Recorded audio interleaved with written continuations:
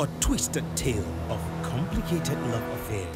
This is part of your plan to sabotage me, right? I will never sabotage you.